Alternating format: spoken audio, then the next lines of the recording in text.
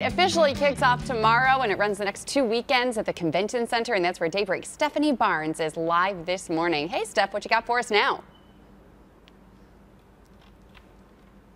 Hey, Melissa, John, good morning. You know, I was searching for those countertops for you, but they're all the way on the other side of the building, so we're going to have to show you that at another time. But what I do have for you today, this hit, is this even larger house than we last saw we showed you the tiny house. Now we're showing you the big house. And I want to take you inside yet another home here to show you a little bit of this feature home at Buffalo's home show this weekend. I want to bring in Michael here with Ethan Allen of Western New York to tell us a little bit about the uh, the theme, the, the, what's new here this uh, year. Well, what's completely new is our brand new line from Ethan Allen, um, our Disney line. It's a it's a brand new line for us in November this year.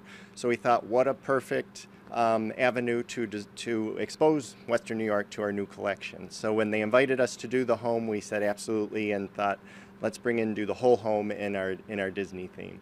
And we really wanted to show you how you can live with Disney without being over the top. It really is a very, uh, a, a, very well done line of over 500 pieces from everything from coasters all the way up through furniture and bedding, um, pillows, things like that. So we really wanted to bring the whole um, look together to show you how, how easy it is to live with and incorporate Disney into your, into your life, whether it's just a pillow or the whole home.